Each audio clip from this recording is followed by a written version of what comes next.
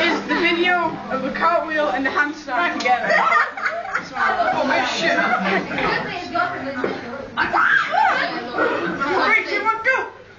Three, two, one, go!